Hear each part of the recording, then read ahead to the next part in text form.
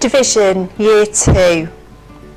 Please look at the Year 1 division video before this one so that you are clear on what is already expected of the children. In Year 1, the children solve division practically by sharing equally or using grouping. Grouping is also used in Year 2 and is modelled on a prepared number line and later a blank one. A prepared number line will have the numbers along the bottom.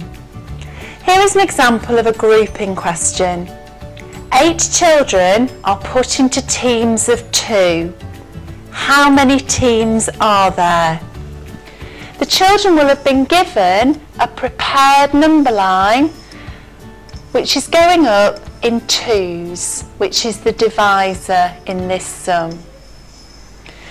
The pupils can then count the number of groups of two by doing jumps along the number line. So they will see there is one group of two, two groups of two, three groups of two, four groups of two, means all of the eight children have been put into a team.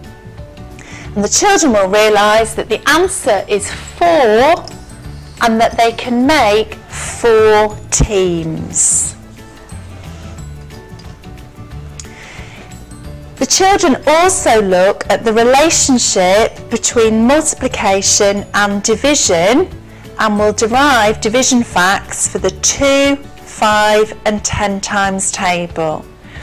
For example, if the children know that 5 times 10 is 50, they will then be able to derive the division fact that 50 divided by 10 equals 5.